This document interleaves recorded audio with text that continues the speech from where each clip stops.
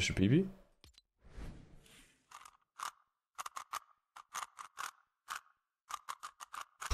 Thanks, man. Yeah, I don't know how to solve a Rubik's Cube, man. I know my my creator code is 200 IQ, but I can teach you. Butterfingers97, please teach me, man. Guy. Okay, that name is fantastic.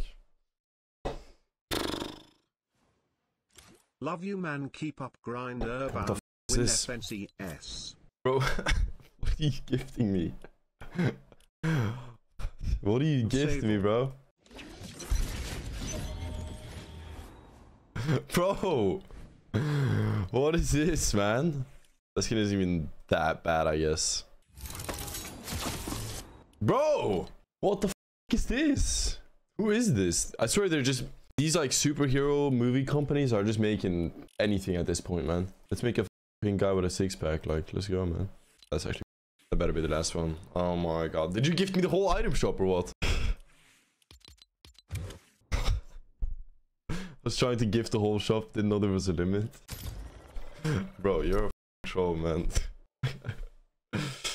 W Mr. Peepee, bro. Just gift me half the item shop.